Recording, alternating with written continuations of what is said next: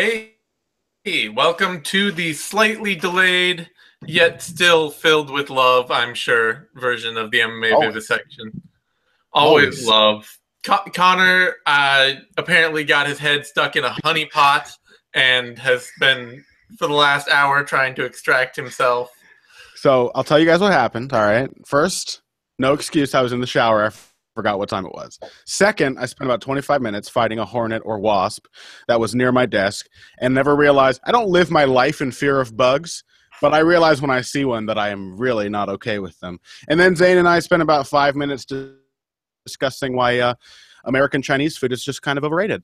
So that that accounts for basically the entire hour that uh, I caused us to be late. By the way, if you did want to lure me out of a honeypot or whatever situation I was caught in, Mexican food would be the way to go for me. Okay, that's good to Not know. Chinese. In- Don't in- like Chinese that much. In, the future, I'll I'll wave a few. I'll, I'll waft some tacos your way.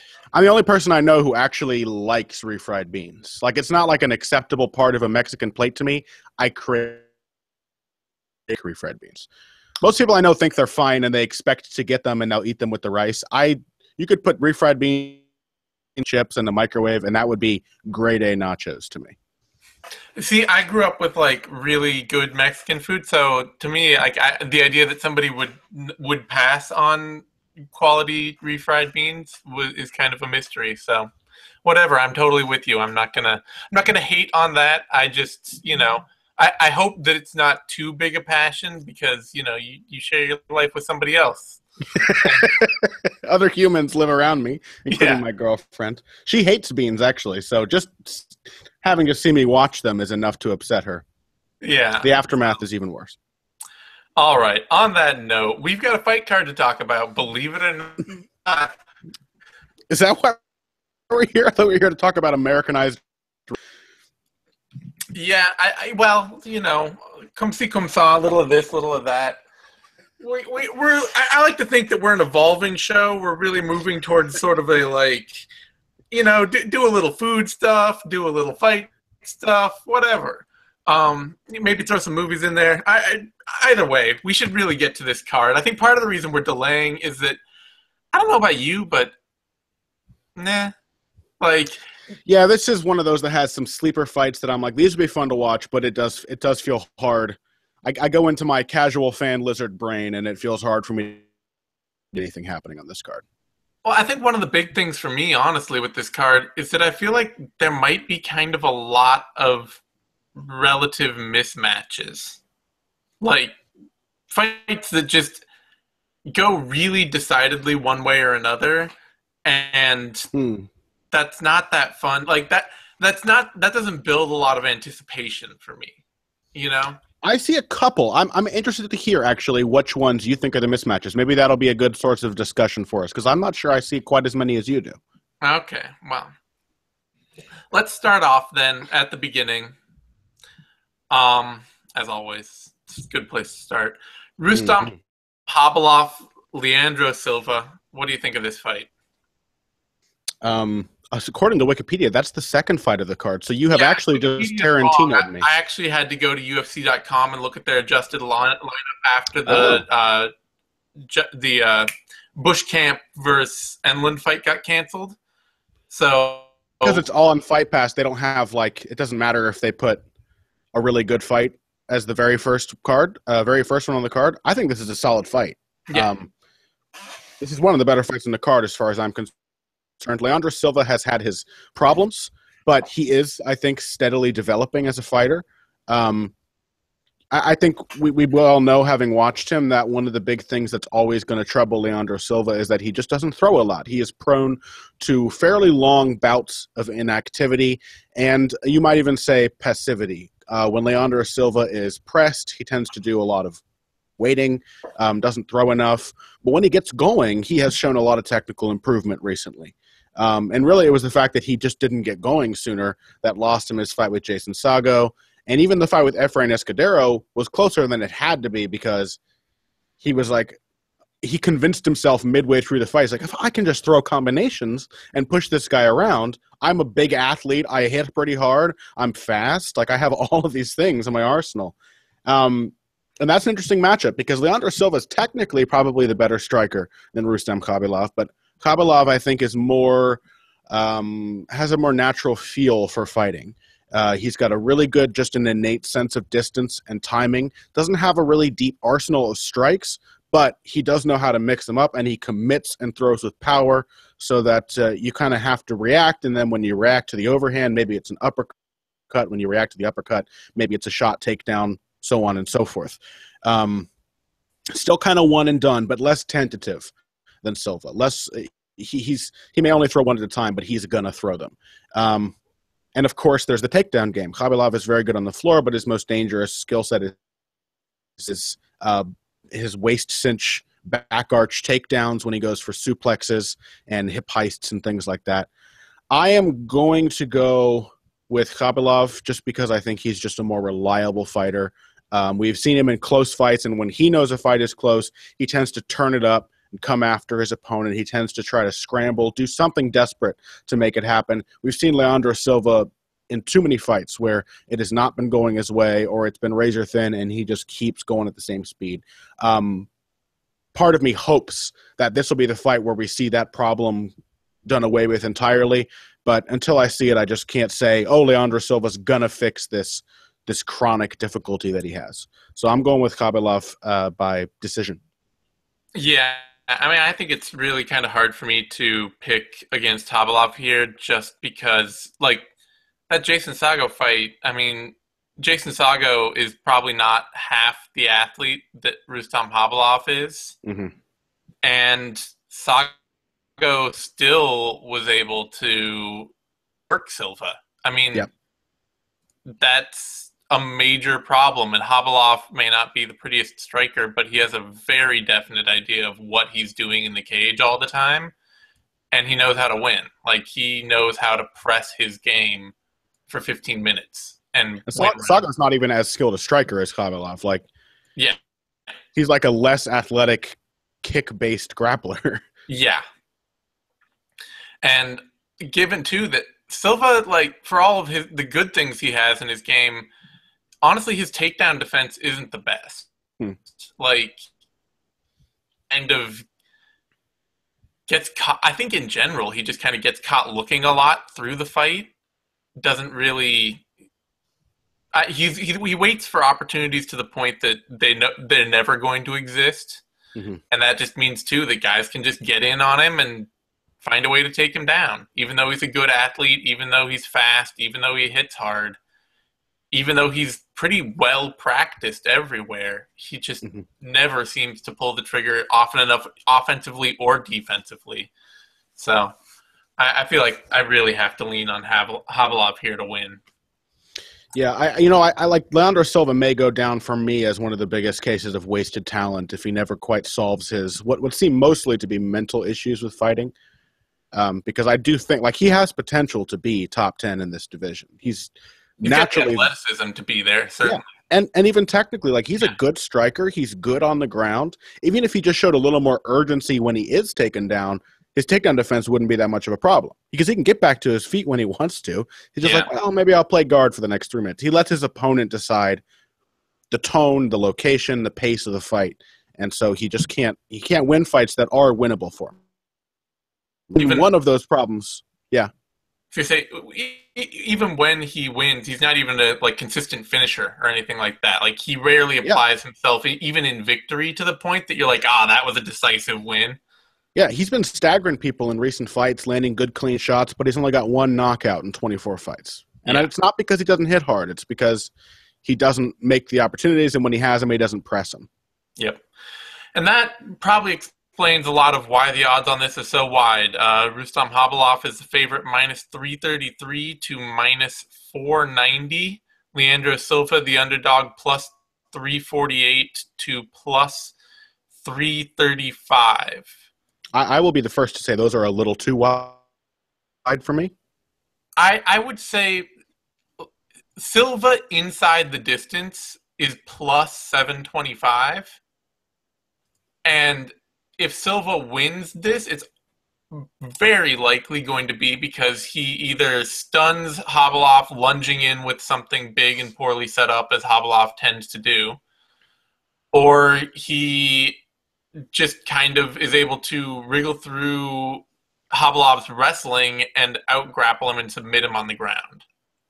I, I might I might even say like I can the thing is like given his attributes, I could see Leandro Silva winning a decision, but he's Leandro Silva. Like that's the yeah. I, I, would not. I, I, think the odds are right on if you're just trying to think of Leandro yeah. Silva winning a decision in this fight. It's not an unwinnable fight for him. Like it's like given his physical skills, yeah. it's not an unwinnable fight.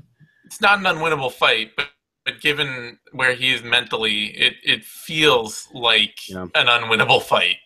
I know? might I might still myself put a very small bet on him because the odds are so wide, but in the end, I can't disagree with who the odds favor. Yeah. All right, and that brings us to our next bout on the card: Scott Askham versus Jack Hermansson. And uh, this, uh, yeah, this is me. I'm. This is a very interesting fight to me because, um, Askham's been around. Like, a we love middleweights. We love our funky, weird, pseudo difficult, pseudo talented, incredibly tough dudes that inhabit the middleweight division. And uh, Jack Hermansson seems like a perfect addition in that canon. Mm-hmm. A really awkward fighter. Um, like he gets better as fights go on, but it's really like he is a range striker who needs a jab to work behind, and it takes him a really long time to establish that jab. and if he's not establishing the jab, he's just not kind of doing a lot. Um, I still, I'm actually going to pick Hermansson to beat Askham here, though. And it's just because Askham is such a poor range striker, and Hermansson knows that's where he wants to be. Like Hermansson is tough. He's a good counter wrestler to the point that I think if Askham tries to take him down, Hermansson can wind up on top and wind up, you know, putting a, a good amount of striking on Askham just through ground and pound. Like Hermansson's got good ground and pound. He's just not a very good wrestler. Mm-hmm. And um, I don't see him playing enough of Askham's game. I don't see him just giving Askham the clinch, giving him the pocket often enough to win. So I'm going to take Hermansson for maybe a small upset here. Is there something about middleweight where it's just where all the guys with the weirdest body types go? I, I, I honestly do think it's a thing where like you have to be like a physical phenom and kind of freak to be a successful light heavyweight and any normal person cuts to welterweight. Yeah, that's where all the normal people like that's the normal body range for for like the, for the U.S. Yeah. Twilight Zone where you get all the dudes who are potentially big enough to be light heavyweights, but not freakish enough. Like they're not phenoms. So you just get all these like odds and physical odds and ends. Because like look at look at like Scott Askham and Jack Hermansson and Magnus Cedenblad. Like these are some weird shaped dudes. Long but kind of muscular, but still like noodly.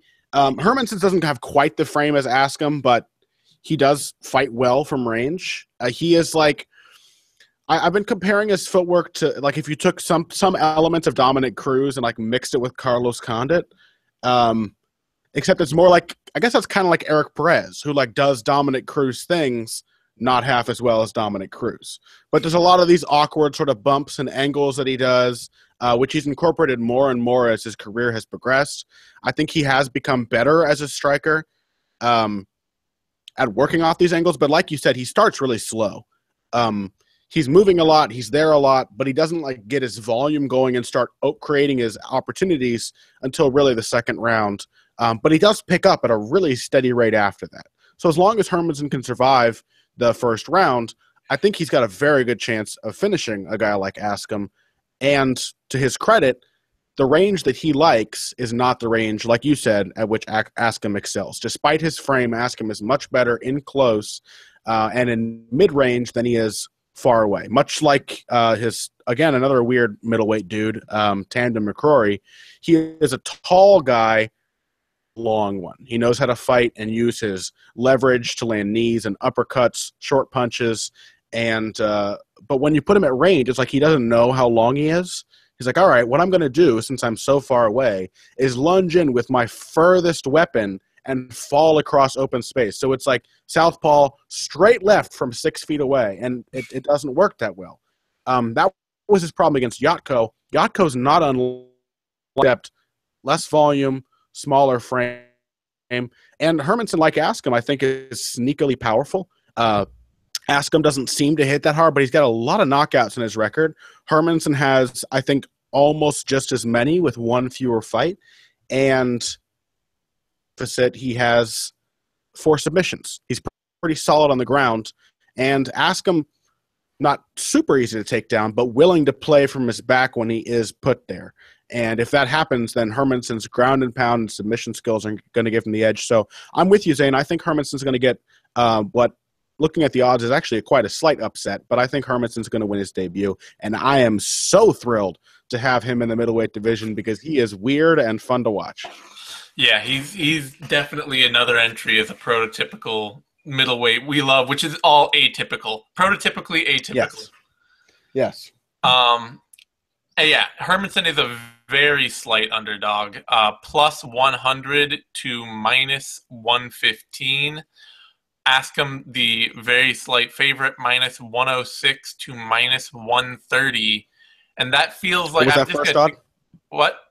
What was the first odd on Askham? Oh, uh, minus 106 to minus 130. Okay. And I'm going to take a brief guess here. Uh, no, okay. I figured that uh, these would have been odds that have been like dipping all the way, th- like slowly declining, but they started out pretty close, surprisingly. With the history of them, you mean? Yeah, I, I figured that it was Hermansson would be slowly closing on Askham, but uh, and he has certainly. I mean, he's gone from positive to negative, but it was a pretty w- closely set fight from the outset. It looks like. Askham started at minus 140. I just learned that you could do that and check the history of the line. Yeah, you didn't know that? No, that's cool. All right. Um, that brings us to a heavyweight bout, and I hope this is the right order. Like I'm looking at Tapology and going off them because, like I say, that matches UFC card. Wikipedia, they actually deleted an extra fight, and they're they seem totally wonky. So they may be right. Wikipedia has a history of being right on this kind of thing, but mm-hmm. I'm going with Tapology this time. So if it's wrong, I apologize. Heavyweight bout next: Jarjis Danho versus Christian Colombo. Yeah, and that's not even on Wikipedia anymore. Yeah, that's why I'm ignoring Wikipedia entirely. Very strange. Um, Danho had a lot of potential when he came into the UFC. I'm kind of worried about him now, not because I didn't expect him to lose, because classic Joe Silva, he matched him with a tough veteran in his first UFC fight, despite only having, what, six fights under his belt at the time, even less? Yeah, despite having only six fights, yep. Okay, so he lost to, um, can you give me that guy's name? Daniel Omielanczuk. Daniel Omielanczuk, I picked him to lose to him because Omielanczuk is tough. He's tricky from range, and Danho's game is still pretty limited. Uh, you know, in, in, terms of the techniques that he can use, he's mainly a pocket boxer uh, with some decent wrestling um, when he decides to use it, which he doesn't always. So he was going to end up in the clinch, and he was n- he doesn't have the tools to work at the range that a guy like Omielanczuk prefers. Now, despite that, Omielanczuk being Omielanczuk did get clinched, but managed to create little opportunities. He was craftier, more experienced. It ha- happens. Um, none of that worries me. What worries me is that Danho got tired, got accidentally fouled, and basically quit. And that is not a good look for a prospect. Um, it's it's tough to come into a combat sport and then have one of your first big tests. You encounter it and you say, uh, you know, like he didn't really want to continue. I think he got poked in the eye, uh-huh. and um, again, not to discount the fact that he may have been injured or anything, but I think he basically told the ref and then showed no interest in trying to continue. It's something it's rare among elite fighters. You typically, we've seen a lot of guys who are blinded want to finish a fight. Not that that's smart, but that is the kind of attitude it tends to take to succeed at the elite level. Um, it could just be an outlier. It could be like an early GSP moment. GSP had problems with confidence, and he's the greatest of all time. But generally, it's not a good sign.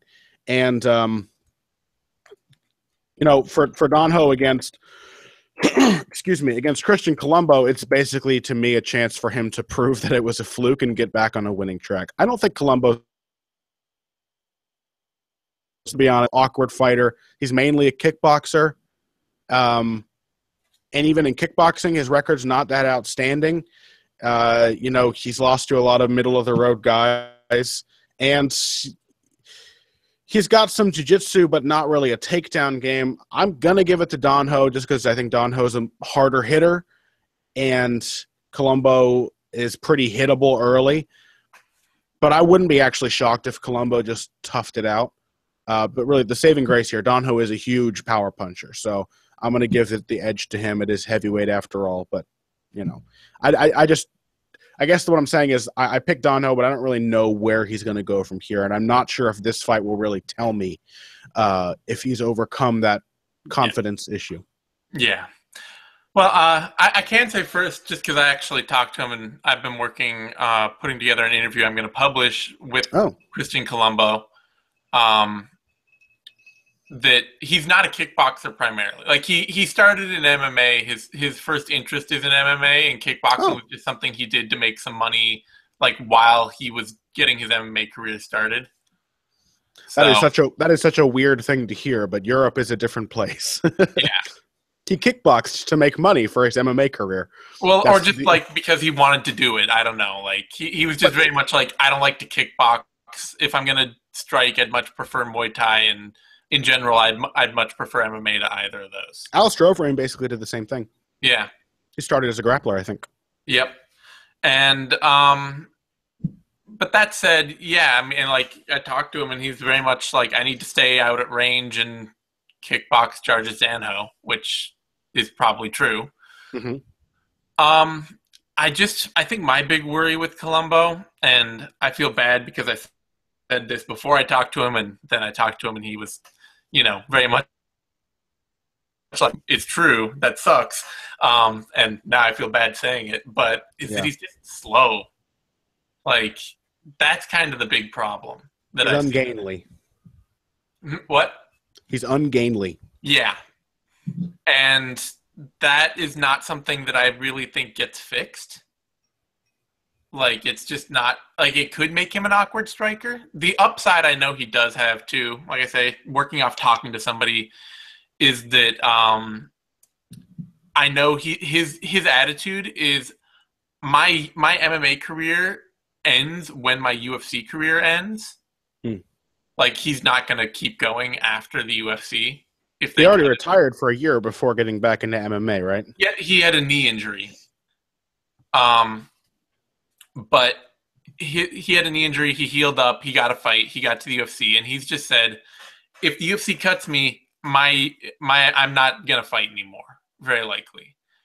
And so his attitude is that every fight he has in the UFC, he's going to fight with complete abandon because he's not interested in like continuing anything after that. It's not about like, oh, I need to make sure that I keep my record good and all that so that if I don't get, you know, so if I get cut, I can go get a job somewhere else. It's just like, nope, this is it. I either win these fights or I, I go home and I do something else. I like that. Yeah. So that in, in a fight like this with somebody who is willing to quit, that could give him a big edge. Like if that's a, just a problem for Danho, that could be a big edge if Colombo is just willing to go out there and go crazy for sure. 10 minutes. 15 minutes. He, Especially know. if, if Don, because Danho had stamina issues. So if Don yeah. Ho gasses and Colombo has taken a beating and is just going like being a, a Dutch wild man, then I, that could be an edge for him. Yeah. So I my my pick is Danho. He's faster. He's stronger. He's bigger. Uh, he's a good pocket boxer, and I think that, or he's not a he's not a good pocket. He's a decent dirty boxer, I should say when he gets a hand on you, he does well to connect with short power punches. And I don't think Colombo is good is fast enough to stay away from him. So mm. I think that Danho's going to win, and that's how. But yeah, if it if it comes down to a battle of toughness, it may be Colombo that takes it. Mm-hmm. So Here's a here's a, a vaguely related question, Mhm. uh, Zane, because you were talking about ungainly guys getting better. I was thinking of Semi Schilt, and a guy that Semi once fought, Remy Bonjasky. Remy Bonjasky's nickname was the Flying Gentleman. How was it not the Flying Dutchman? Who was responsible for this? I don't. I don't know. and can You've Christian when it comes to nicknames, can, especially can Christian Colombo can Christian Colombo knock out Danho with a flying knee and then become the Flying Dutchman? Because I would like that. He's Danish though, so Damn it! Nothing ever works out for me, Zane. no, it really doesn't. Damn it. He's much better going with an either like conquistador based nickname because his name is base like is is two vowels away from Christopher Columbus basically, Yeah, that works. or, or a Colombo based nickname. I would like that. He could just be Christian, uh, Christian Peter Falk Colombo. Just take the whole name. P- Yeah. Christian Glass Eye Colombo. there you go. Um, Qu- Christian. Oh, and one more thing, Colombo. Christian, you'll never meet my wife Colombo. That's what That's I want. right. Anyway, um, I love Colombo, Zane. I do too. I love Colombo very dearly. I love Peter Falk very dearly as well. But uh, on that note, this fight is basically dead even in the odds. Colombo is at minus 106 to minus 115. Uh, Danho minus 106 to minus 120. So, no issues there. yeah, I, I think Danho should be a slight favorite just for. I think I expect him to win via his speed and power Me too.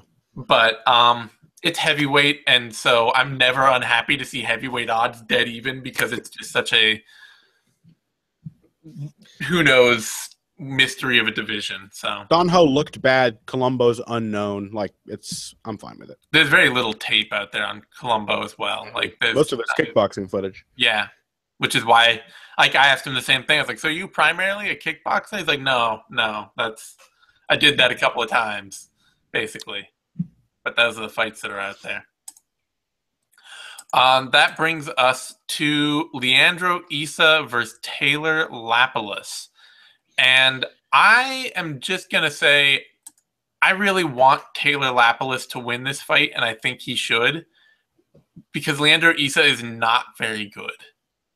The big, you know, the big difference here is that Issa being older, a little more experienced, and very particular in his grappling skill it could lead to him getting an upset win, or it could lead to him taking down and choking out Taylor Lapilus.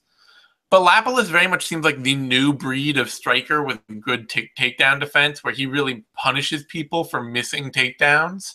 And Issa's wrestling game is not anything to get excited about. He tends to shoot from way too far out, and he really has a love of low singles, which are hyper low percentage takedowns. Unless you're Demian Maia. Unless you're, well, yeah, Demian Maia. Let's not even. Demian Maia is just a, a weird freak of nature who does Demian Maia things, but everybody else struggles. And so, Lapilus being a great young prospect with a really promising game I love to watch, I really want to see him beat up Issa in a lot of the same ways that uh, Yuri Alcantara did. And I think he can do it. It's just that Alcantara is also a much more seasoned veteran and um, wilder than Lapilus, put himself in more bad situations than I think Lapilus will, but also knew better how to fight through adversity and problems.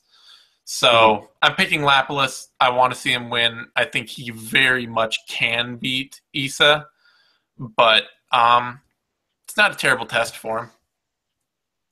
No, it's great. I think it's a kind of it's a, a bit of a softer chance to come back from that Erik Perez fight for Lapilus. Issa has a little bit of that Hani Yahya thing going on where he will just relentlessly chase takedowns, and if you're not prepared for that, then he will catch you on the ground. He's a very solid grappler. I think he's won numerous world championships, Abu Dhabi, and things like that. Uh, very decorated, and so yeah, I like this for uh, Lapilus. Uh, the big thing though that stands out to me is that Lapilus uh, his problems with Erik Perez are not really that he kept being taken down, but that he kept going down. He kept jumping guard and going for submissions. Mm. Um, Uh, if I recall correctly, that fight was on like one month's notice. You would think that would be enough time for an athlete like Lapilus to get in shape, but um, it could have played an effect. He seemed to tire very quickly in that fight, more so than he has in past fights. It may have just been a bad camp, uh, or maybe it takes him full eight weeks to get going for a fight. Who knows? But once he was tired, he's pretty amateurish instincts, jumping guard, going for Hail Mary submissions and stuff because he's not a huge puncher and Perez is very, very tough. Uh, as long as that doesn't happen, he should be able to handle Leandro Issa. As long as he doesn't gas, as long as he doesn't have what would be the absolutely insane idea of jumping guard against Leandro Issa, especially in this matchup. As long as he doesn't do that, he should be able to handle it. He's a very new breed, as you said. His takedown defense is a lot like uh, uh, Jędrzejczyk's, uses the clinch to disincentivize the takedowns. Um, he's comfortable in that range, and he will beat you up. If you latch onto his hips, he will hurt you every time that you close that distance. And then, like other traditionally effective anti uh, counter wrestlers, like uh, Michael Bisping, he uses a lot of lateral movement, a lot of footwork, to keep his range and deny you the chance to initiate a clean takedown. So you can't get a clean one in the first place, and if you dive on it anyway, he's going to beat you up. And then at range, he's a very promising striker. Technical. He crosses his feet a lot, which worries me, but uh, you know, uh, it's a thing that can get solved with time. And, and there are great fighters like uh, Guillermo Rigondeaux who cross their feet all the damn time and get away with it. So who am I to judge? I think Taylor Lapilus wins this one. I think it might be a TKO as Issa grows tired in the late rounds. Uh, as long as Lapilus can avoid gassing, I think he wins by third round technical knockout. Yeah, I think part of too what might have happened in that fight with Perez is just that Perez, you know, is not the deepest fighter in the world, but he's a good three dimensional threat, a decent yeah. wrestler, decent striker, decent grappler. He was undeniably the best fighter all around that Lapilus had ever faced at that point. Yeah, and I think he was just able to run Lapilus out of ideas. Mm-hmm. That was the biggest problem. Was just that Lapilus, you know, started out doing pretty well, and then this guy is not going away. He's not getting hurt. He's not getting disincentivized from doing anything. And I'm running low on ideas. I'm just going to start yeah. regret, you know, pulling out things that I shouldn't do, but I'm going to try whatever. And was, I don't think it was go on. Sorry. I was gonna say I don't think Issa presents that ability. Yeah, it, it, was most likely a necessary experience for a young fighter like Lapilus. He's 24. He can go back with his coaches and teammates and watch that fight and say, you know what? If I'd remained calm, I probably could have won that one because he yeah. was very competitive in the first round. And even as he tired, like Perez was getting tired too. He just kept going. Yeah. And and Lapilus just wasn't dogged enough. And so it, hopefully he learns from that and comes out a better fighter. The odds on this do have Lapilus as a favorite, minus 147 to minus 165. Issa is the underdog, plus 138 down to plus 125. I have no problem with that, really, considering Lisa ha- er, Issa has a potential. He has a he has a potential large skill advantage in one area and Lapilus has a potential large skill advantage in one area, and Lapilus is not the most experienced guy in the world, so he could make some of the kind of mistakes that could get him a loss. Um, still, I, I think it's good. I mean, Lapilus deserves to be the favorite here. Sure. He's a, a very, very wooden striker, and the shots he takes from way outside are not good. Like they should set up nicely for Lapilus' yeah. He's not necessarily one dimensional, but it's like seventy percent of his points have been put into BJJ, and he split the rest, the remaining thirty, over the other two areas. Yeah, very much that way.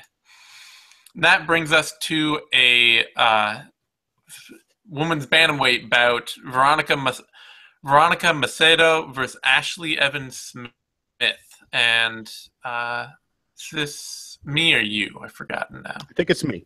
Okay, it's you. Go for it. So now I suspect, Zane, you could tell me now if this was one of the other ones you thought would be a rematch. I uh, feared that you might have thought this would be a rematch. A, re- a rematch? Oh, sorry, or you mean one? Mismatch, I apologize. Mismatch, yeah. Yeah. Uh, yeah, this is certainly one of them. See, I kind of disagree. I think if I'd been more impressed with Ashlee Evans Smith over the course of her UFC career, I might have agreed. But I have just a quick. You do know what the height difference is here, right? Yeah, I know. I know. Okay. Yeah. Then go, um, go onward, onward and upward. uh, Veronica Macedo's got some mass. She's got some thick legs. She's not like she's really small for the division in terms of build. She's just short.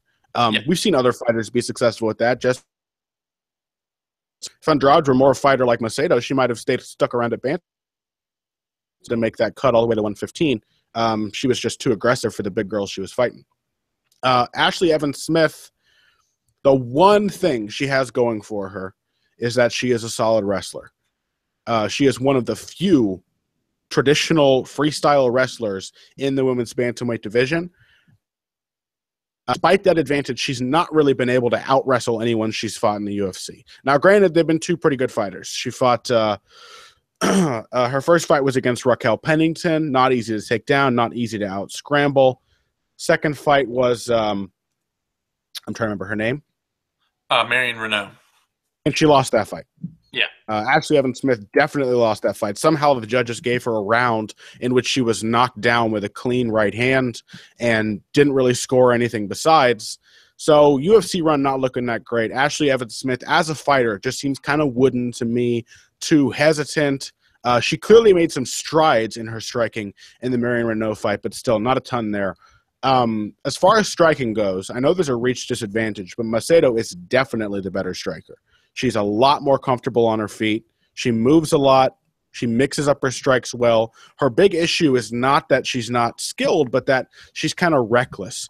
Um, she's willing to go for these spinning kicks over and over and end up on her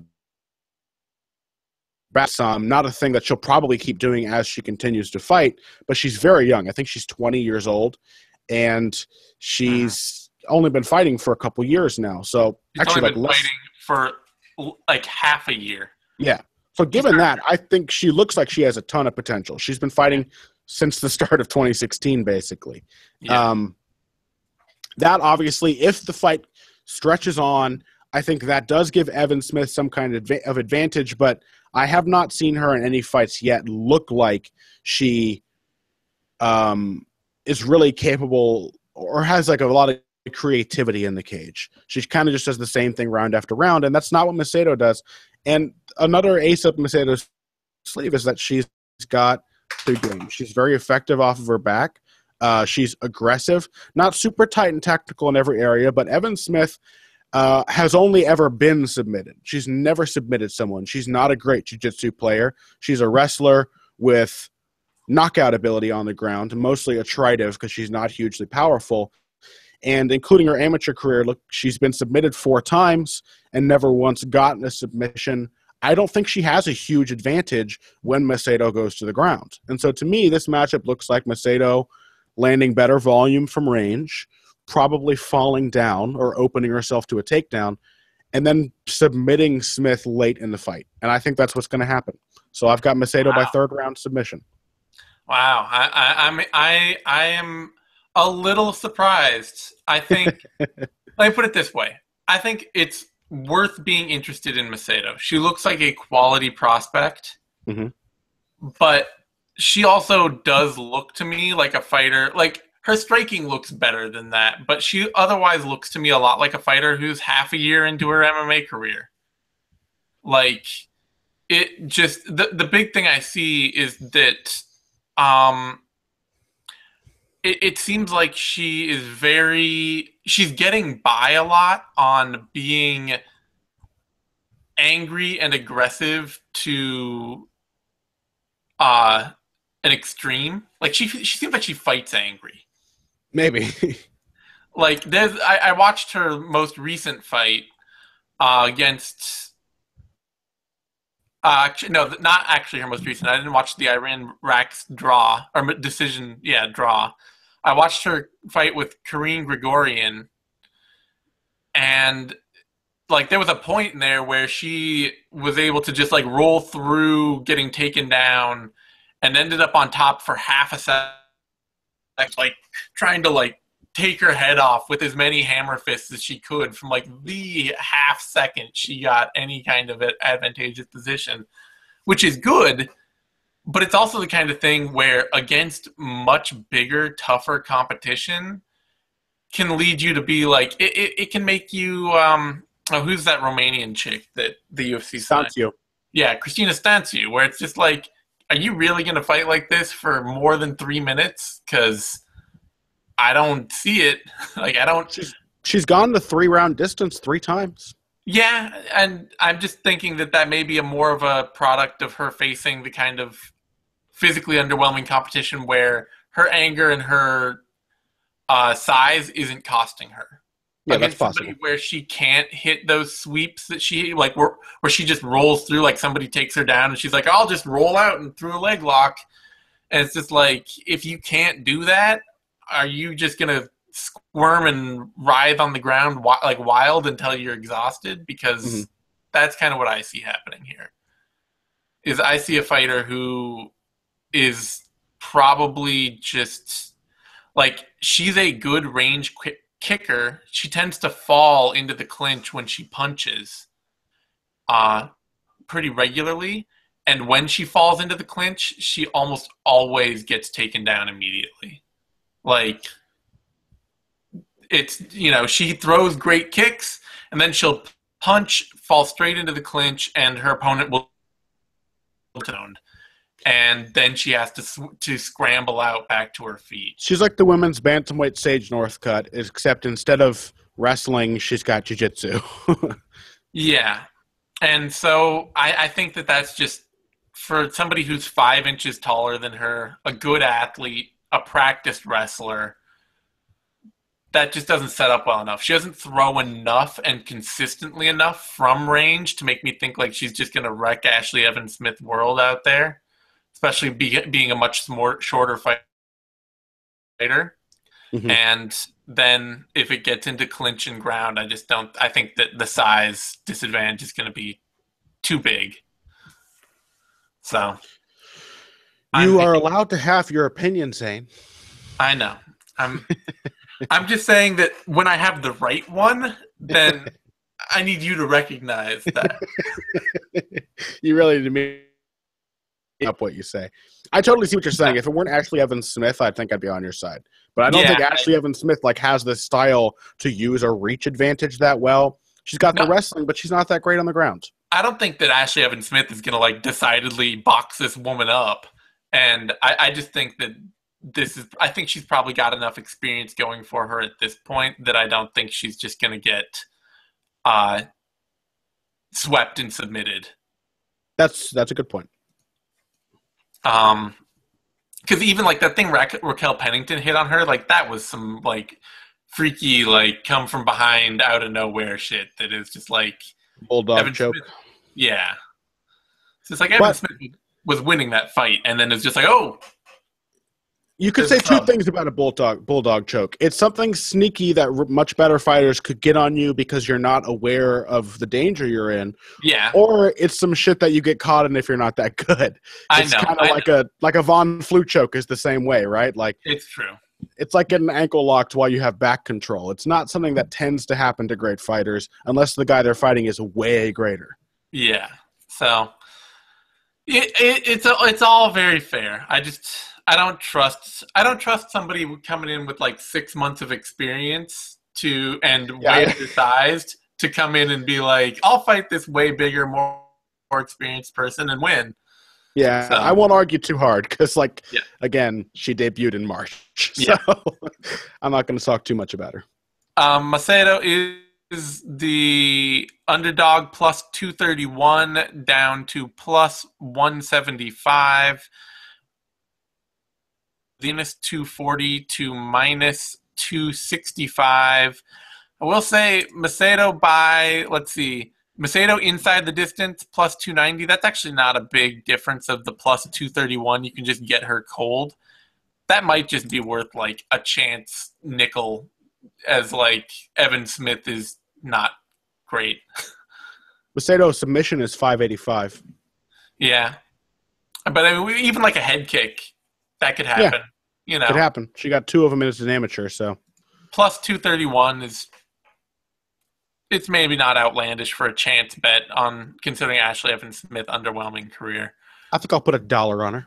I'll, a dollar. There you go. And that brings us to uh, welterweight bout: Nicolas Dalby versus Peter Sobotta. And uh, I think this is you. this is me. Yeah, this is a. I don't know. I'm interested in this fight because Dalby, I believe, should very much win it. But it's one of those things where, like, we're slowly finding out the athletic limitations of each guy, and they are slowly learning painful le- lessons through those athletic limitations. Mm-hmm. Like, Sobotta, he looked really w- marvelous and like he'd really put together and refined his game when he beat Steve Kennedy and uh, Pavel Pavlak. Mhm. Like both, or mostly Kennedy, but both those fights, his return to the UFC has generally been like he looks put together. He looks like he's, you know, he's turned his kick heavy range game to takedowns into scrambling back control into a reasonable system. And then he met Kyle Noke, and Kyle Noke just kind of kicked the crap out of him. Almost Kicked a hole in his gut. yeah. And it kind of it it suggested to me that like there's a level at which Sobotta just does not is not going to pass. A Mhm. level of athlete that will just hurt him. And I don't know if Dalby's that level or not because Dalby on the same hand like he looked sol- he's looked all right in the UFC, but every fight of his has been either razor thin or a loss. Mhm.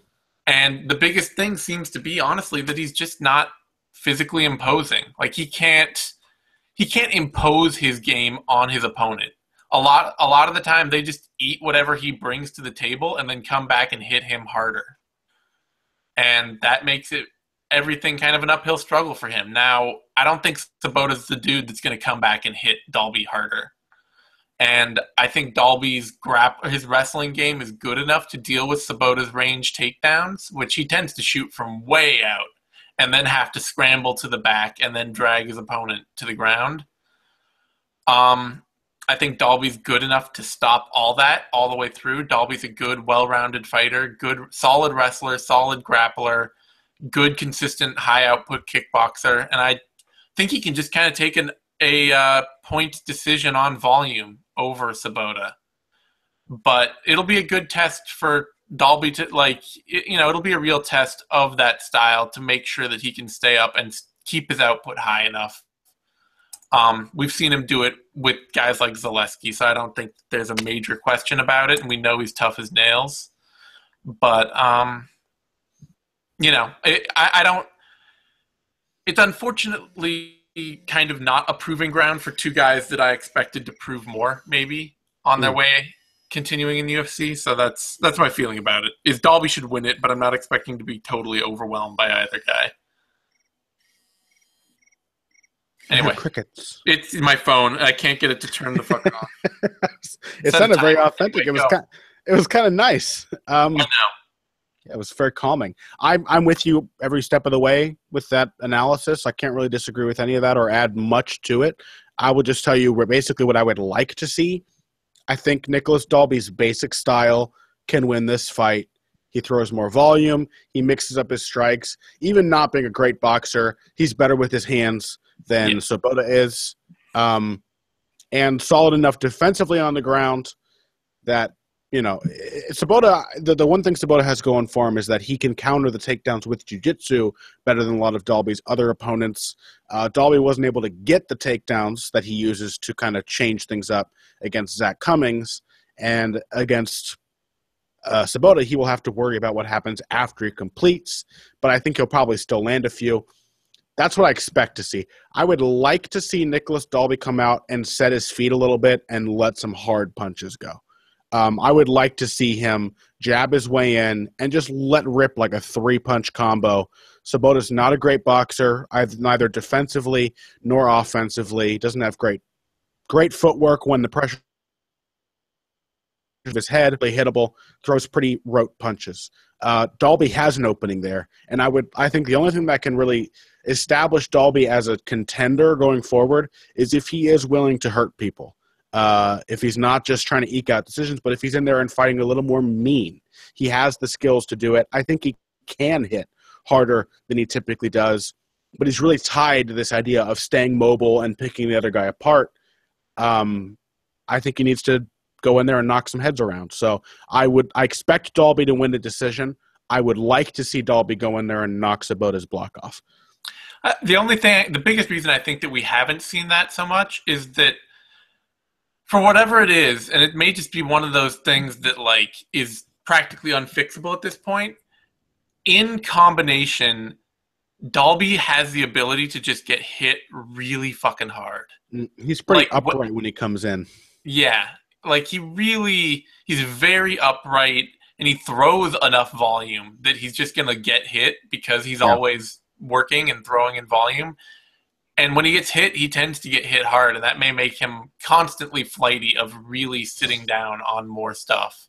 Yeah, there's also this thing with Dalby where it's like he has modes, like he's moving and then he flips the switch to strike and it stops. Just like when Shogun like moves his head, Yeah. he's like, "Oh, I have head movement now," and then he comes and his head's completely right centered over his body as he throws punches. It just all goes away when he goes on the offensive. Dalby doesn't seem to be able to move that well while striking or to defend that well while striking. It's like offense or defense. It's it's it's sticking or moving, not sticking and moving. So I agree. Sobotta should not present him a major scare to deter him from just going in and opening up a bit. Sobotta's solid. He's got something in every phase. He just doesn't have the right things in each phase to stand a good chance of of beating Dalby. Yeah, that that seems about right to me too. Um, Dalby is the favorite, minus one twenty three to minus one forty five. Uh, Sobotta plus one eighteen to plus one hundred. I think that's maybe a, little close. Um, I think so. I think Dalby's worth a bet at those odds. The only thing I would say um, in defense of those odds at all is that Sobotta is a very consistent finisher, and Dalby is uh, not basically. Dalby, te- he depends. His his mode of finishing, even when he has gotten finishes, tends to be wearing the other guy out to the point that they really start to get caught with everything he's throwing because he can just outlast guys. And so, you know, when you have a guy who's likely to take his opponent to a decision, and you have a guy who, if he gets a chance to finish the fight, is probably going to, Mhm. you you know, the odds should steer a little close. So I'm not terribly like I don't think it's terrible, but I think they could be more in the 200 range. Just on the base style matchup favors Dalby pretty well. Mhm. I agree. Um, that brings us to another welterweight bout: Jim Wallhead versus Jessin Ayari. I have um, not been that impressed with Jessin Ayari. I'll be quite frank. Um, he's he's like uh, Lyoto Machida, but without the timing to land counters and without the power. um, you know, he's got this very like he looks like a guy from a karate background when he fights, whether it's because he has one or he's sort of affecting this style. Um, he's, he's a pure MMA starter who's taken some time to do sambo and uh, something else too. I can't remember what, but So he just kind of it seems like he kind of likes the way the karate like stance looks. He bounces, he keeps this kind of relaxed guard, and then like you swing at him and he either gets hit or he leans straight back and uh, he doesn't counter, which is kind of what Shotokan, that style of karate is all about, or what Kenpo is all about, is being able to punish somebody for leading and, and making them lead. And then so his only way of landing is when he leads, and it's mostly with one strike at a time. He gets a little more comfortable as the fight goes on, starts stringing his punches together a bit, but mostly it's one shot at a time. It's a big straight, or it's a lead uppercut off of that, or it's a big kick. Um, and I say big, but they're not all that powerful. So Ayari seems to be fairly athletic. Uh, he's got some good timing on his takedowns, but his style just isn't that smooth. You know, it's it's not as smooth as he wants it to look, and he looks really hit a lot of level of opponent. I think that can capitalize on the openings that exist in his defense. I think Jim Wallhead can do those, uh, can find those openings. He's very, very experienced. Almost certainly nearing the end of his run is Jim Wallhead. He's been fighting for a long time, but he's well rounded 10 knockouts, 10 submissions, hard to take down because of his judo background, solid on the ground because of it, and like a lot of judoka, he's kind of gotten an innate sense for range and timing. That hand fighting background has given him um, a, a, nuanced understanding of how close he is to his opponent. He hits pretty hard. So I think Jim Wallhead's going to knock Jessin Ayari out. Yeah, I, I don't. I, I, think it's he's most likely just going to take him down, smother him, and maybe submit him. My, I actually think that maybe Ayari is the biggest problem for him is that he may not be all that great an athlete, and that he's trying to fight like a good athlete. Mm. Um, and like especially because like the the biggest thing I've seen from him is he can throw some good. He has some decent clinch striking, but mostly when he gets into the clinch, he's getting pushed around or it's very 50-50. He, he doesn't exert a lot of force in the clinch. If he can get, if somebody gives him an opportunity, he can take an opportunity, but he can't make opportunities because he's just not strong enough or fast enough to create them. Um, and I think especially against Wallhead, who really, you know, likes to shoot in, move to a body lock, and then start looking for ways to take you down. Mm-hmm. I think that really favors him because Ayari is likely to give him that clinch and then get taken down and get overwhelmed on the ground. Mm-hmm. Yeah, Ayari does not impress me really. It's very small, like either big, small moments of single strikes or flurries that are all very like, I got this one opportunity and so I'm going to take it. Yep. And not a lot else that goes on. He's either taking the opportunities you give him rarely or he's just getting pushed around. And I think Wallhead has absolutely got the experience to push somebody around that's going to give him time and space. So I'm with you. Wallhead is a reason, small favorite. Minus 135 uh, Ayari plus 108 to minus 115 at one point. So uh, odds makers have this pretty evened up. Um, the I mean, Wallhead, you know, as much he's on a good, solid run. He has only, I think, been knocked out once in his no, twice in his career. Once early, once recently by Danny Roberts, who's really pretty solid striker. He pretty um, much loses to good fighters these days. Like it's it's Danny Roberts or it's um, well some guy dude named Eddie Ellis. I mean Lyman Good is good and all, but sure. But I mean this this is a guy with this is a guy with uh, thirty eight fights, and and his last four losses are Eddie Ellis, who to us is some guy, but also Danny Roberts, Lyman Good, and Rick Hahn. Like those yeah. are good fighters. Those are very good fighters and that Eddie Ellis is a split. So, right. I mean, Wallhead to me seems like kind of like he kind may not now? last at this level at all, but he is very good regionally. Yeah. And I'm just not sure that uh, um, Ayari's even that. Like Ayari to me, he's just kind of some dude. Like he's gotten knocked out. He's got a couple of times now. Um, and the guys he's beaten are not anybody that stands out to me at all. He's fighting a lot on like he beat Mickaël Lebout, who I like, but that's not because Mickaël Lebout is some shining example of amazing ability. Yeah. And um yeah, I just I don't know. Wallhead should be able to win this. I'm not necessarily discounting the odds being that close because Wallhead is rarely an imposing, amazing, imposing force. But Wallhead's a consistently decent finisher, so yeah. I'm gonna take Wallhead by submission. And I'm betting on him. I think the odds are two. Oh, I, I already read the betting lines. They're basically even, and I think that that's a little bit of a mistake. Yeah. So I agree. Um, that brings us to the first main card bout, still on Fight Pass, so it won't really matter at all. Uh, Nick Hein versus Tae Hyun Bang. And or Tae Hyun Bong, I should say. I say, you know, it's written Bang, but might as well get it right. Bong is so much more dignified. Um, and this, I, as you know, I like Nick Hein a bit. He's a nice guy. I think he's uh, a nicer guy than he is a good fighter, as much as I hate to say that. And, Better actor than he is a fighter. Successful sitcom star in Germany. Yeah, that's right and I think he's going to lose this fight. In, in case people thought that I were going to just be like riding with Nick Hein forever, um, Bong is he, he's the kind of dude that is never going to be more than a mid card action fighter.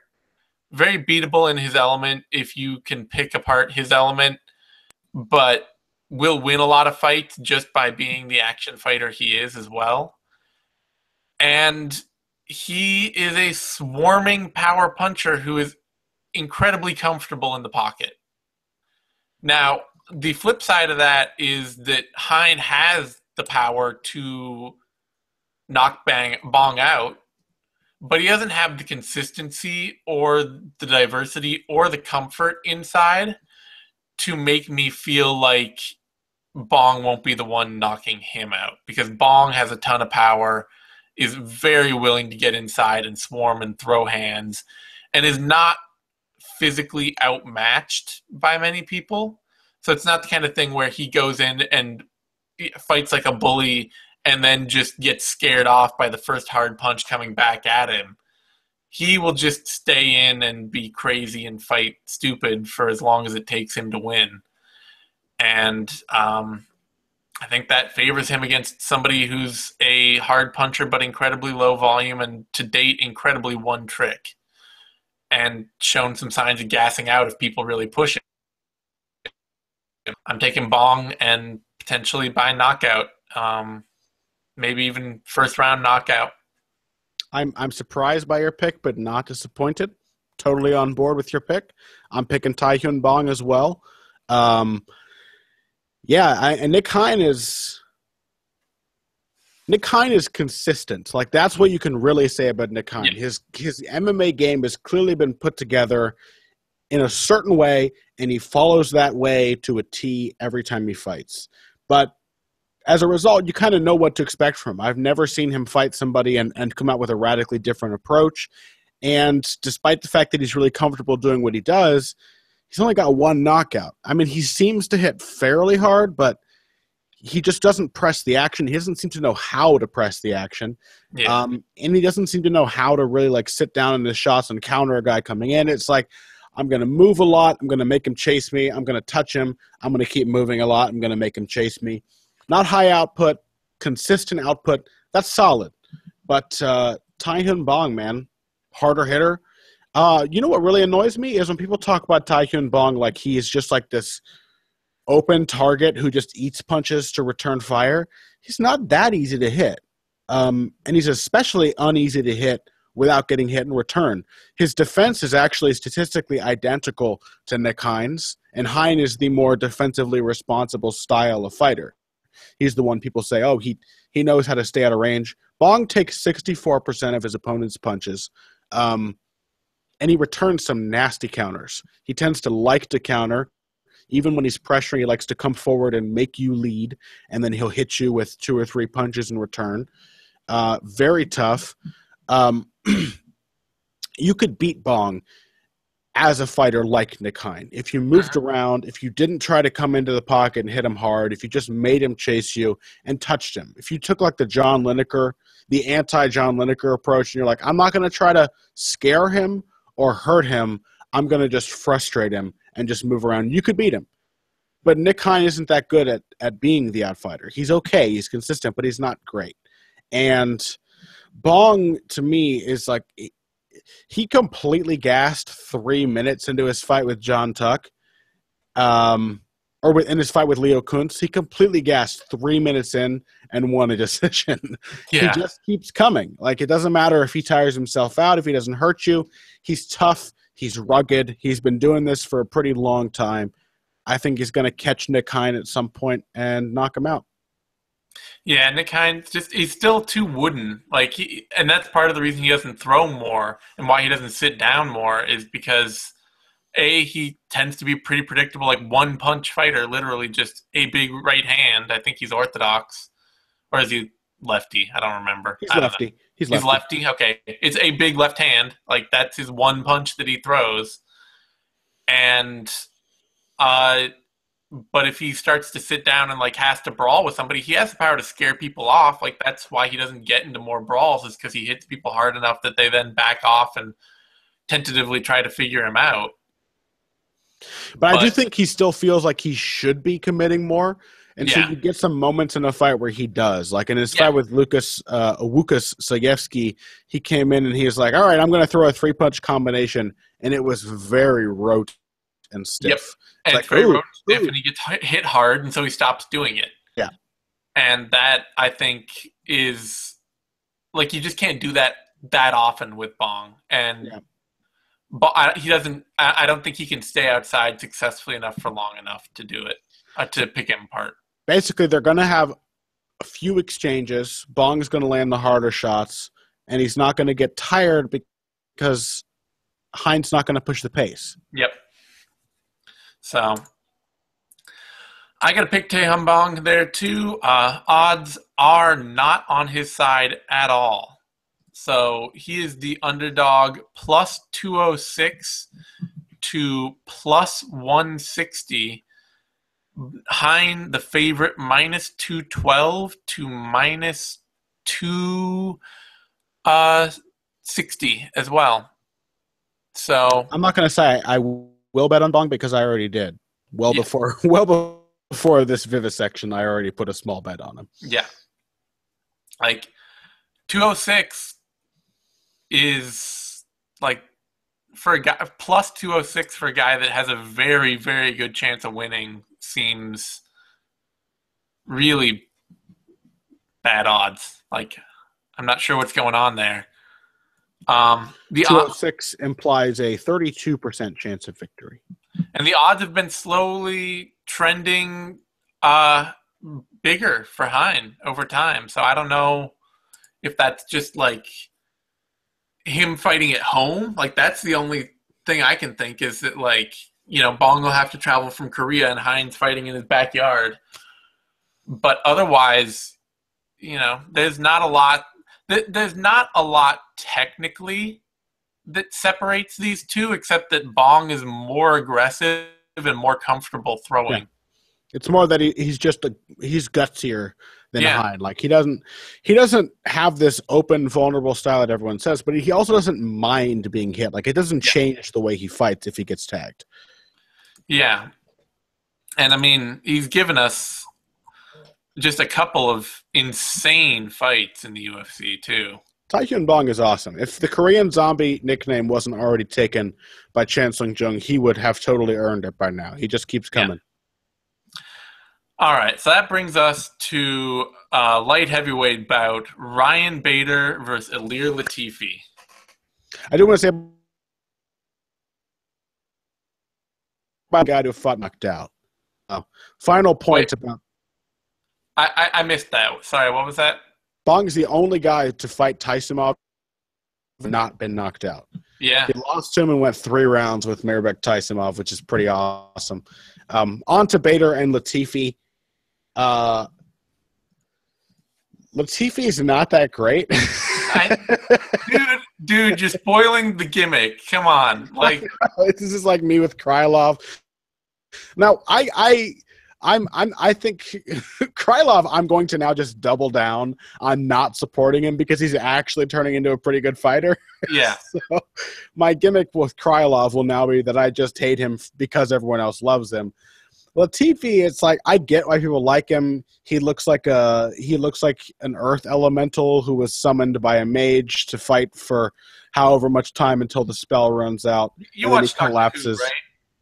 I don't actually. No, you don't. Okay, well, the the, the Sontarans, they're like these no neck battle like people that just wear it like they have this big thick armor that like goes up to here, and they're just like shaped like a an ice cream cone.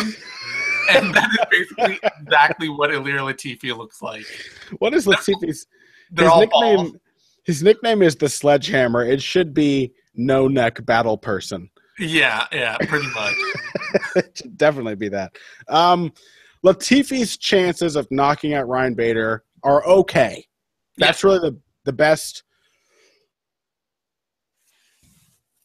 Excuse me. That's the best I can say for him in this matchup. Is his chances of knocking out Ryan Bader are okay. This is basically to me the highest level of fighter in the light heavyweight division that Latifi can have a good chance of beating because Bader gets hurt and he crumbles. Um, he's not that durable.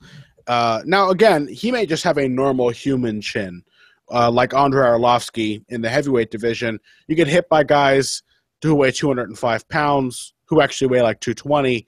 You get hurt. It's not that embarrassing, but it is a problem in the context of the UFC for Ryan Bader.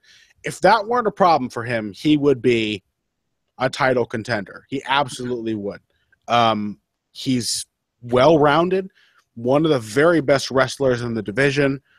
Um, out wrestled at times Phil Davis, and when you engage Phil Davis in a wrestling battle and still come out with a victory, that that is really a rare feat.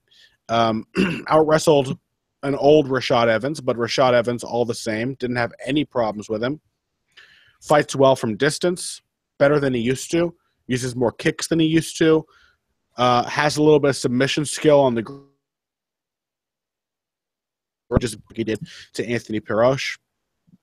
Ryan Bader's solid, uh, and if he weren't so fragile, he'd be in the title picture. And it's just time and time again, he takes that last step up, that number one contenders fight, and just gets blown up.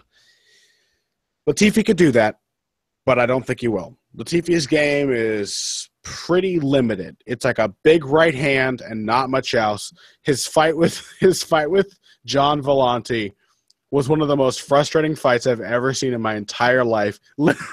Literally, the only thing that got me through it is was imagining with my friend that Ilir Latifi was an earth elemental and that he had been summoned to, to take part in this fight, and that when it was done, he would crumble, and also that if he were to ever get scheduled for a five round fight, he wouldn't be able to do it because his coach didn't have enough enough mana and he would dissipate before the fifth round occurred.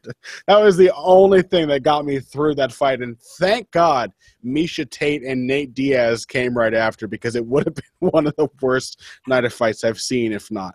Um, it wasn't that great. Like Villante's super hittable. He was in range, and Latifi just didn't hit him all that much. There's just a lot of waiting and staring, and that's kind of his modus operandi. He he's he tends to have the instincts of a counter fighter. He looks at you, he waits for you to commit, and he nails you. If you're Sean O'Connell and you keep coming forward no matter what, that's great for a guy like Latifi.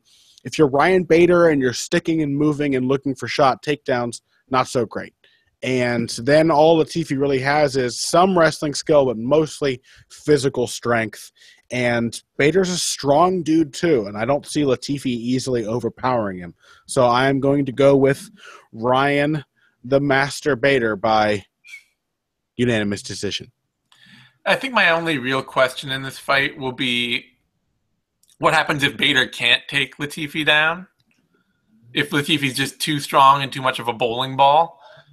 But I don't think that's the case. Like, I don't think Latifi's actual takedown defense is anything notable. Yeah.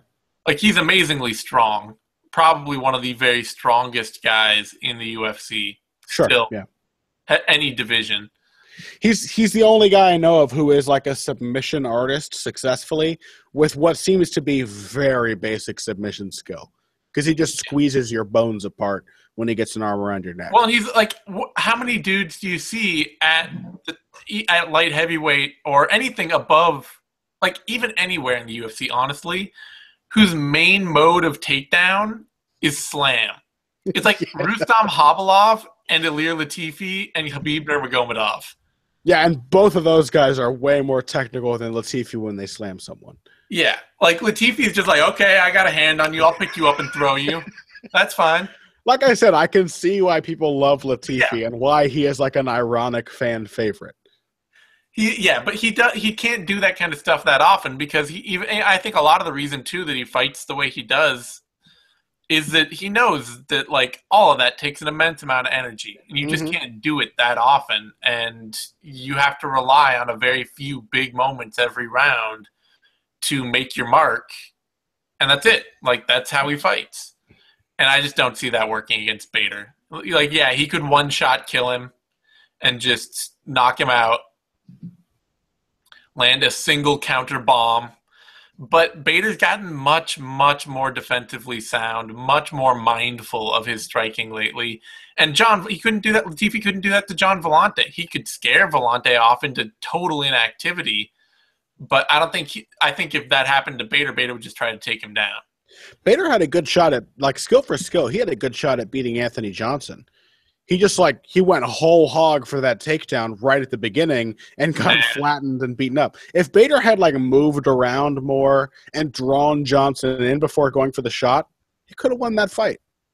Yeah, he, he that was like the highlight of. I am so panicked that I am about to get knocked out in five seconds that I'm just going to get knocked out in five seconds. That that fight was Ryan Bader's career. Like it was he didn't look that bad, but like all of the weight of just knowing that at any moment his chin could crumble. Like that that fight was post Tito Ortiz Ryan Bader. And I think even if he panicked against Delir Latifi, the chances of Latifi capitalizing in the way Johnson did are pretty slim. significantly smaller. I agree. So that that all leads me to agree, and Ryan Bader is the dude to pick here. Bader is the favorite, minus two hundred five to minus two forty. Ilir Latifi is plus one ninety five down to plus one seventy five, and um, I honestly think it could be wider than that. I would Yeah. I agree. Bader doesn't lose to very many people, really. Um, Yeah, I'm gonna say it's okay just because Latifi is so powerful that he does have a decent shot of flattening Ryan Bader. But like skill for skill, style for style, this is Ryan Bader's fight to lose. and yeah, I mean, like it's important to realize five people have beat Ryan Bader. The names are Jon Jones, Tito Ortiz, Lyoto Machida, and Glover Teixeira and Anthony Johnson. There is one person among those who was not like the others. Yeah, and it's Tito, and that Tito fight will forever haunt Bader for the rest of his life. yes. But it's still they are all at their peak, much better fighters than Ilir Latifi. Have you seen that uh, video that's out there? I think it was from one of Dana's blogs of Dana White watching Tito Ortiz beat Ryan Bader. Everyone was talking about how Chuck Liddell. Seen Chuck Liddell watch fights. I know he's ridiculous. Just the fact that Dana watched that fight, it was like Dana knew Ryan Bader already. He watched it. He was like, just a wry smile, like this is what happens to Ryan Bader from now on. He just gets beaten by guys in an instant. It all falls apart. Yeah. So I, I got to take Bader here. I, I don't see many reasons to take Latifi unless you're just betting on a one shot, one punch knockout. Which Which, as far as puncher's chances, it's pretty good, but still, it's a puncher's chance. yeah, and it, it and Latifi honestly like, you know, he's never KO'd a dude that good it's true. He- ever. You know, He couldn't KO Gian Villante, and he had his chances.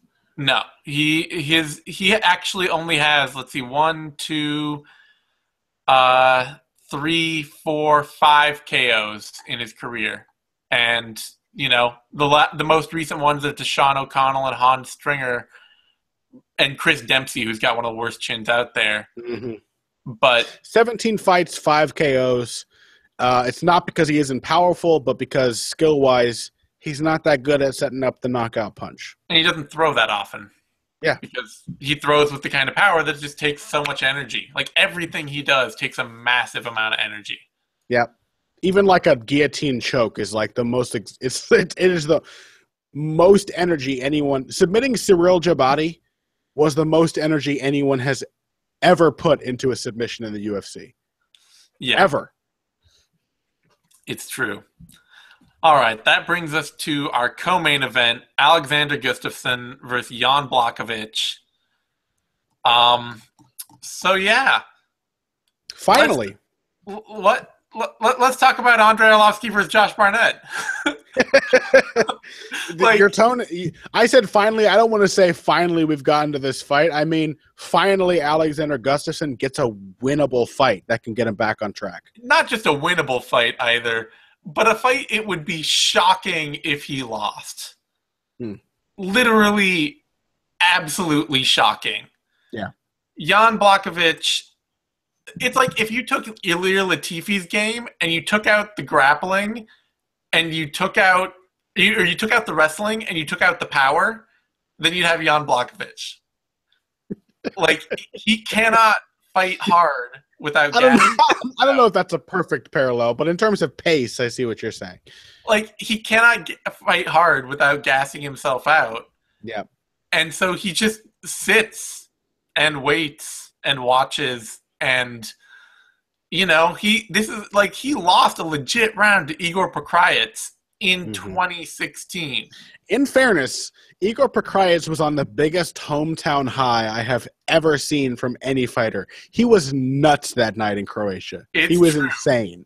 it's true but he's also you know like that jimmy Manuwa fight Manuwa had like a blown out knee and so Manuwa just threw nothing and basically just waited Jan Blachowicz out for three rounds and won because he did less waiting. Jimmy Manuwa's knee exploded in round one, and he was like, "I have no choice but to just win this fight." like he just casually won it instead of excitedly winning it like he wanted to. Yeah, he just basically coasted out three rounds against Jan Blachowicz. And, you know, yeah, that knockout Blachowicz had over Ilir Latifi was really cool, but we haven't seen anything even close to similar since. And it He was also lost to Sokoudjou before his UFC career. That's worth pointing out. and took Houston Alexander to a decision in 2012. Houston Alexander. Like, I want to like Blachowicz, but Alexander Gustafsson should stomp him through the cage. Just like Blachowicz just gonna sit there and watch him, and yeah. you know, like you can't just sit and watch Alexander Gustafsson punch you in the face a bunch. I've never found anything funnier on the vivisection than distaste for Jan Blachowicz. And maybe it's because Jan Blachowicz is not really a bad fighter. He's just like he just doesn't win. I don't know, man. He just doesn't win fights that matter. he just doesn't really like he doesn't have in moments Jan Blachowicz is not a bad fighter, but he does not have a game that functions. Yeah. Like he's a incredibly he's a reasonably okay technical kickboxer who does not throw in any kind of volume to win rounds and depends on scaring opponents off that they don't want to get hit. And he doesn't wrestle defensively, really. He depends on a grappling game off his back and he can wrestle offensively a little, but it's not the kind of deep game that anyone can depend on. Like it's not like he's some takedown. He's not a takedown mashy. This is not Victor Pesto we're talking about here. He here. is no takedown machine, that is for sure. So Blachowicz, like I just he's the kind of fighter that like it that pisses me off more than any other kind of fighter, honestly. I think it's the cruelty of this because again, Jan Blachowicz is not that bad. He's got a solid record. He's beaten some good guys, and it's just like you're sitting here saying he's garbage. he's not good. And the weird thing is that in some small part at the back of my brain, I agree. Like it's that's why I'm laughing. It's to keep from crying. To quote A Knight's Tale. You know, Jan Jan Blachowicz, um, his game just sort of relies on you thinking that Jan Blachowicz can beat you, and that's kind of the thing. That's that's the kind of thing that becomes less effective with time. The more guys you see beat Jan Blachowicz, you're like, I don't have to worry about what this guy's throwing at me. He's not very powerful. Um, he's precise, and that's what got him the win over Ilir Latifi. Uh, but Latifi gave him a ton of space and a ton of time to find those openings. And Latifi is another guy who just kind of relies on you fearing him to beat you. And it's because of power for him. For it's because of crispness. He's a clean technical striker, Mm-hmm. but he's like Anderson Silva now, without the power and without all the craft and experience and without the weirdness. You know what I mean? Like he's like modern Anderson Silva. you stripped away everything but Anderson right. Silva's game and you left one aspect. right. He's like Anderson, except all he has left of Anderson's skill set is accuracy and the fact that he gets tired way too easily. And that's um, and he's got a better chin than Anderson does now, I will say that. So he can take a shot and he doesn't crumple. But he just can't it really seems he's one of the most obvious fighters I've seen where it's it's very clear that he just can't keep up high enough to keep his opponent from taking over the fight. Like he's like, all right, I got to rest, and then he loses the rest of the round, even if he's had some good moments. Because again, technically, Jan Blachowicz has a good jab and a nice quick left hook. He's got a good left kick. He's like a classic English boxer. He works off that lead side long enough or consistently enough to win the rounds. And if Jan Blachowicz ever comes in, how old is he? Uh, 33. He's 33. Yeah. If he ever comes in at 33, it's not too late. He's a light heavyweight. If he ever comes in with great stamina, he could be a top 10 light heavyweight uh, or a top five light heavyweight. a top 15 light heavyweight right now. Yeah, but he's solid. Like he could be right on the fringes of the top five if he ever comes in with good stamina because he's not easy to put away. Um, he's not powerful, but if he could keep up output, he's tactical enough that he could win rounds. Yep. but he's not. And this is Alexander Gustafsson we're talking about. I have been talking for years now about how the UFC is crazy for matching Alexander Gustafsson the way they do. He had that Jon Jones fight. His very next fight was one against Jimmy Manuwa that was a little closer than it probably could have been. And then he has to fight Anthony Johnson. Not an unwinnable fight, but one that doesn't go his way. He gets blown up in round one. And then immediately they match him against Daniel Cormier. Now I know Alexander Gustafsson is one of the best light heavyweights in the world, but he's still a man, God damn it! He's still a human person. He needs to be taken care of. You can't give this guy losses to the three best fighters in the division, one after the other, and then keep giving them tough fights. I'm so grateful that Gustafsson is getting a fight against Jan Blachowicz because really he was talking about retiring. He had an April Fool's joke where he said he retired, but he was actually talking about not feeling motivated to train anymore. He basically had to rediscover why he got into combat sports. He was like, you know what? We can have fun in training. But it took him a year after the Daniel Cormier fight to learn that again. And if you were to give him another fight like that just because he's such a good fighter, it, it could really just take his career apart. So I'm grateful this fight is happening. Don Blachowicz losing is sadistically funny to me. I'm really not sure why. But I'm grateful that Alexander Gustafsson is going to be the guy beating Jan Blachowicz. I'm grateful to see him back on track, to see him in a fight that is forgiving, that he can come in and not quite look like himself and still win it. You know. The Mauler. I like Alexander Gustafsson. I don't know why. I didn't even like him that much when he first came into the UFC, but he has really endeared himself to me. I'm a big fan. I want to see him get a win, and I think he will. That said, uh, the odds on this, uh, they're not close, but I think they're closer than they could be. Uh, Gustafsson is the favorite, minus 625, They're pretty damn wide, Zane. minus 7. I, I, but I'm thinking, like, this should be like an 1100 fight to me. Like, unless Gustafsson just lost a leg over the last year. Poor Jan Blachowicz. I mean, okay. Does Gustafsson have a bad enough chin for Jan Blachowicz to knock him out? Probably not. I mean, Gustafsson, like Anthony Johnson had to headbutt Alexander Gustafsson in the middle of that exchange to knock him down. And Gus was still rallying when the ref pulled them apart. you you can't bet on Alexander Gustafsson at minus seven fifty. like no, I mean, maybe not, but like minus 625? Like, I'm just saying.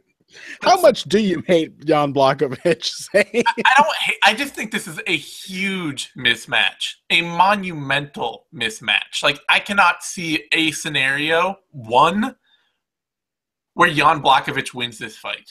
I guess I don't feel like it's a huge mismatch because because I can I, I look at this fight and I'm like Jan Blachowicz can make Gustafsson work for the win, and that's why like I don't see Gustafsson coming in and like just easily. Blachowicz couldn't make Jimmy Manuwa work for the win.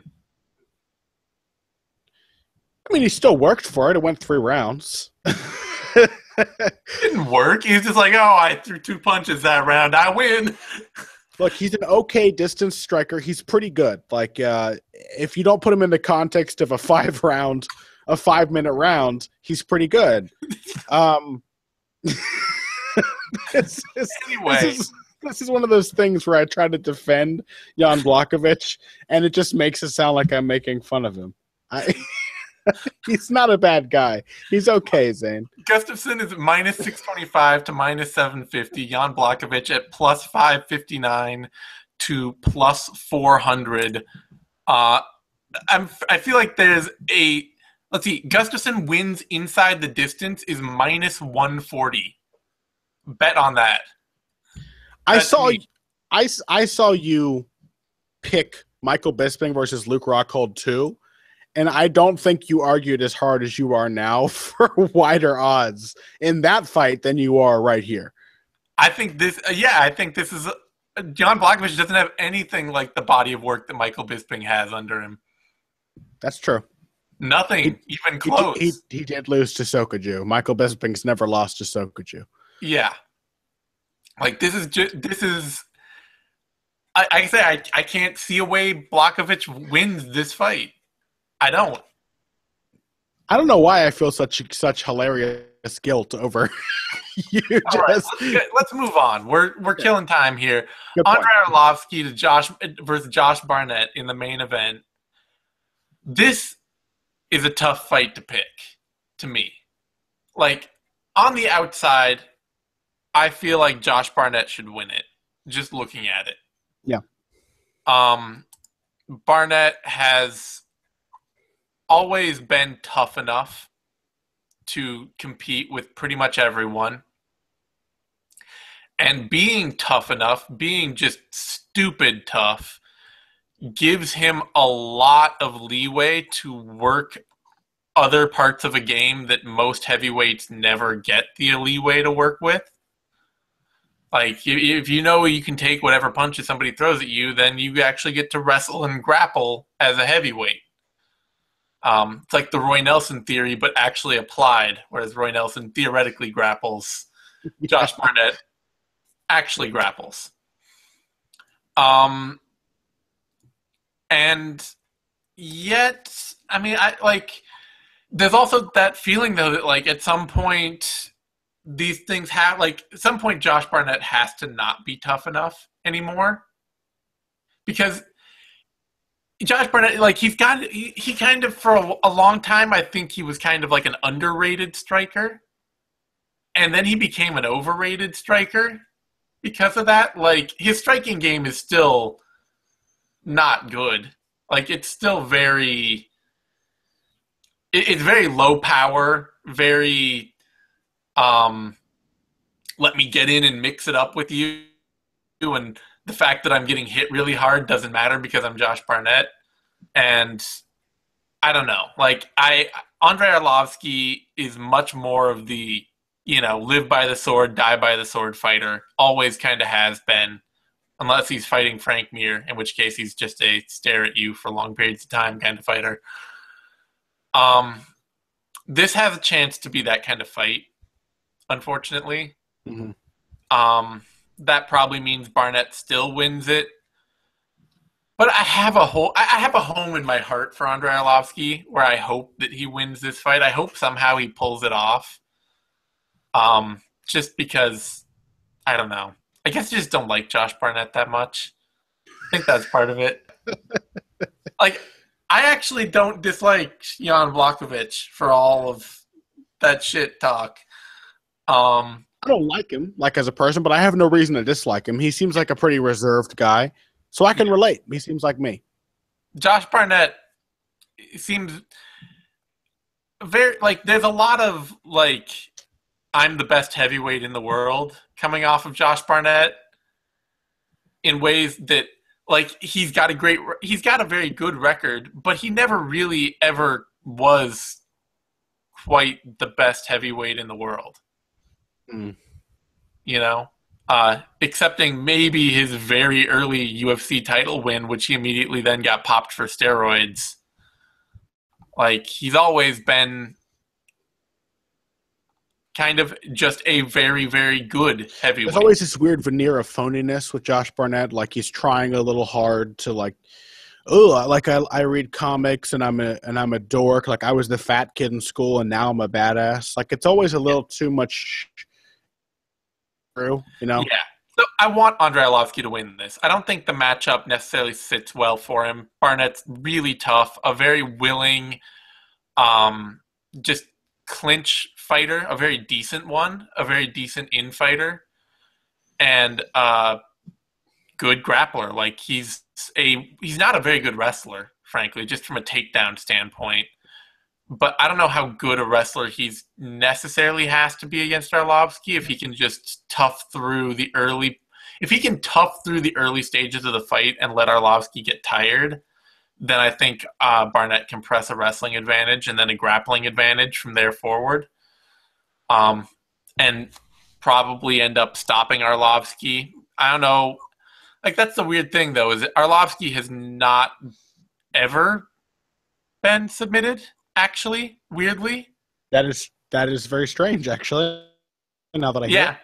Arlovski has never lost a fight by submission. Uh it wouldn't surprise me if he lost this one by submission. It wouldn't surprise me if he lost this one via TKO from ground and pound either. But like I say, Josh Barnett doesn't hit that hard. Like he's not a killer puncher. So yeah. unless he can kind of surprise you with a knee or like chip away and like hit, hurt you and then pour it on, Barnett's not gonna knock you out. So he generally has had the kind of submission success. I'm going to pick him to win by submission, but this could be a weird fight. Yeah, I'm with you as far as the range striking. Obviously, the submission advantage. I can hear myself through your mic all of a sudden. I'm not sure why. I'll mute. Sorry about that. Um, you know, Josh more volume, and that is his biggest edge in the feet here. Is that he he comes at his opponent. The Roy Nelson fight I, I took two things away from that. One, Barnett was maybe not quite the guy he once had been. He didn't look like he could really crack Roy Nelson and hurt him at any time, or that he could easily take him down. In fact, I think Roy took him down like four times. Uh, but the experience of Josh Barnett allowed him to beat Roy Nelson. He has learned that you win rounds with volume, you keep a guy busy, you don't let him hit you clean way until the fight is over. And that's a big thing for him. Josh Barnett is kind of like Roy Nelson, except I think he's actually learned from his experiences, right? He's just as powerful as Roy, but Andrei Arlovski has changed with time. He is a different fighter now than he used to be. Um, there was a bit of old Andrei against Overeem. He came out and tried to blitz him, and that used to be Arlovski's thing, but m- mostly he is a counterpuncher. He fights from the outside. He uses his footwork. He's still very quick and very lithe for a guy his age with his much as much experience as he has. Um, and he lets you lead, blocks, and he counters. Um, that simplicity, I think, is actually really great for heavyweight because the level of general athleticism and skill here is not that great. Fundamentals are especially effective when you you and your opponent weigh over 220 pounds. Uh, um, and just do basic shit.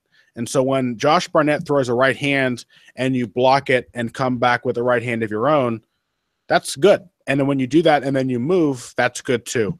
Um, when you're a huge puncher, it's even better. So to me, I don't see Arlovski exhausting himself. I don't see Josh Barnett knocking him out. And I don't really see Josh Barnett taking him down because, like you said, Zane, uh, he's not really a great takedown artist. He's very, um, but his takedowns are not that great compared to what most modern takedown artists can do in the world of MMA. So mostly it's Barnett outworking Arlovski and and outworking him in the clinch. And even as those things are happening, there is always, I think, for five rounds, the lingering chance that Arlovski finds one opening and hits him on the chin. Now, Josh Barnett is tough. He's not easy to knock out, but I also think his passion for MMA is lessening with time. He's been fighting less and less frequently, doing more of his own thing, doing more, you know, the pro wrestling and whatnot. And uh, he didn't come into that fight with Ben Rothwell looking like he was in great shape. He tried to do the same thing he did to Roy Nelson, but wasn't quite as effective, got hit more. And again, he, he looked a little flabbier, like he maybe wasn't training as hard. I just kind of think his passion is leaving. And I have this feeling that Andrei Arlovski will never, ever, ever tire of knocking people's heads off. Um, he went through one of the worst streaks any modern heavyweight has ever gone through. The four losses in a row, um, getting knocked out by Kharitonov and Fedor Emelianenko, and going the distance in a lopsided fight with Bigfoot Silva. And he came back and he put together a pretty incredible run right after that.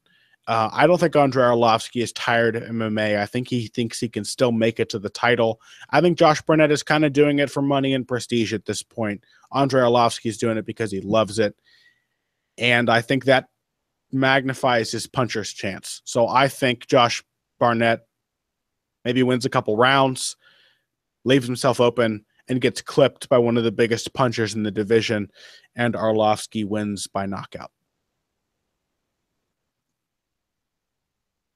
You're still I, muted. I, oh, I know, I know. Yeah, I, I, I think I'm just seeing like Barnett's pressure and willingness to pressure, putting making Arlovsky work harder earlier, and then making Barnett's takedown game more effective as the fight goes on, and Barnett taking over late with his grappling. Yeah, I could see that. So either way though, I mean I could easily see if it just if it becomes if it stalls out, if it becomes a slow uh just, you know, two guys looking at each other taking their chances, then yeah, Arlovski's punt you know, he's really does he really does hit hard and if he's willing to wait for the right opportunities against Barnett, he could get them. As I say, uh, these, these days it's like, go on. No, no, go. Well, well, these days it's like I don't think Josh Barnett's in a place anymore where he gets one tiny opening and he can take advantage of it. He hasn't done that since uh, Nandor Guelmino, which was again only four fights ago, but way back in 2013. Barnett's not fighting that often these days.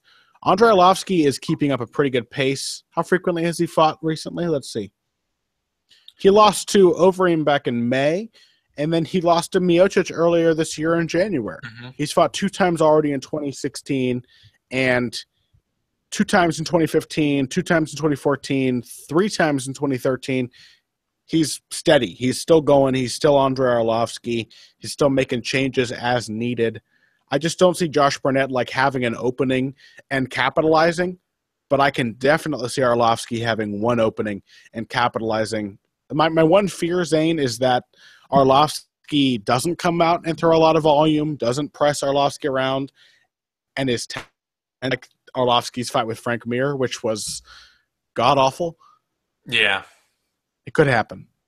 Yeah, that could easily happen. Because as as a counterpuncher now, like Arlovsky really needs you to come after him to get anything done.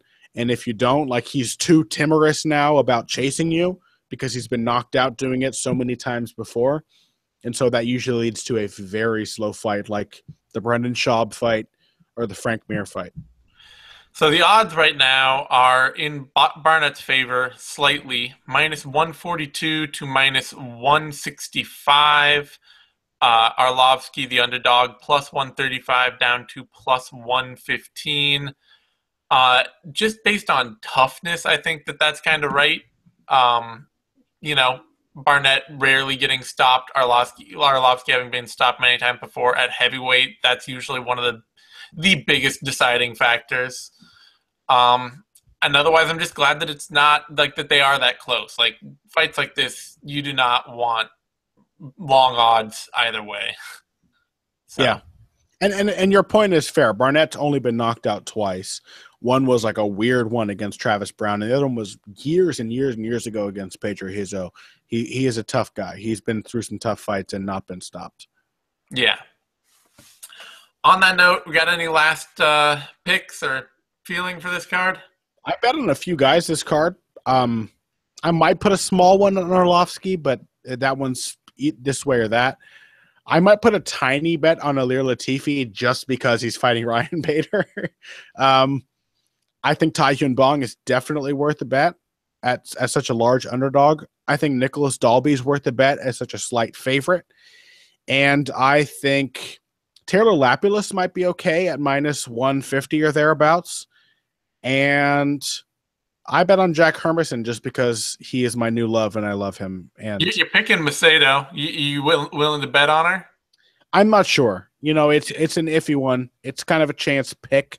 I'm not sure if that warrants a chance bet. So I might yeah. put a dollar on her, but it's I'm not confident enough in it to to yeah. like fully recommend a hard bet there. That that makes sense. All right. Well, on that note, you can find me on Twitter at DZane Simon. You can find Connor on Twitter at Boxing Bush. That's B U S C H. You can find both of us over at BloodyElbow.com. If you're watching this video on YouTube, and you must be because that's where it's hosted, give it a like. That's a thumbs up.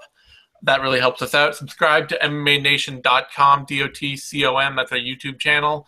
We'll be coming at you with uh, sixth round after the fights, and then we'll have Knuckle Up and if I did it, heavy hands, and of course, care don't care, and the vivisection for next week's fights because it's always fight week in the current UFC world. That's Thanks right. for tuning in, and we will see you next time.